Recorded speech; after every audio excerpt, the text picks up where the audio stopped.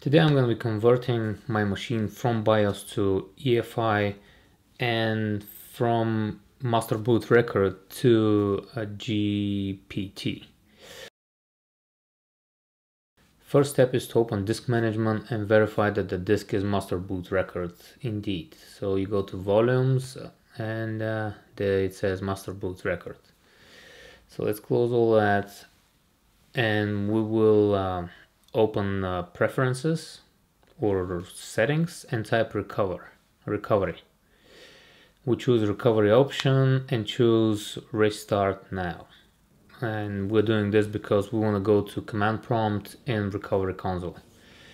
Select advanced options here command prompt and here we will type this command that you're seeing on the screen. It's mbr to gpt space forward slash validate that will validate uh, the disk and then we're gonna repeat the command but with convert and what this will do is it will convert the disk to uh, G GPT of uh, table.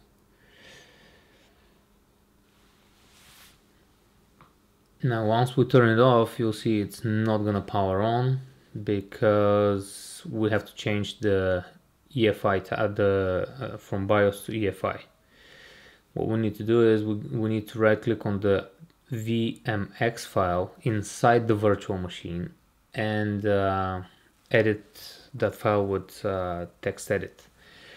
Well, the problem is so is mine was mine was encrypted, so I had to unencrypt it first, then go back and right click again and choose open with text edit, which will enable me now to edit the file because before it was encrypted. And now we add this command, the, the two lines, the firmware equals EFI and the UEFI command.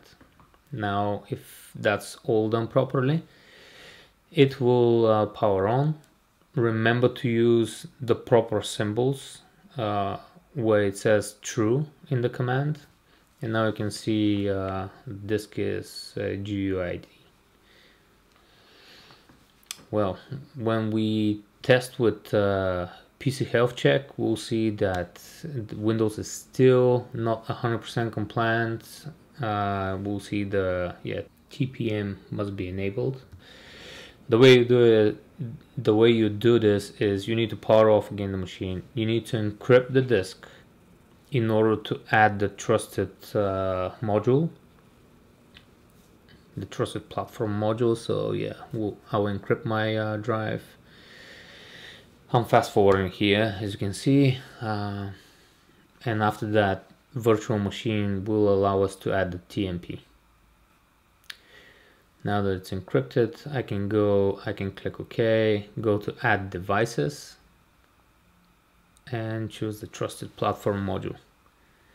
Once it's added that's all you need to do in uh, VMware Fusion settings once we start the virtual machine and go inside Windows, we can check now and everything is uh, everything is meeting the requirements of Windows 11.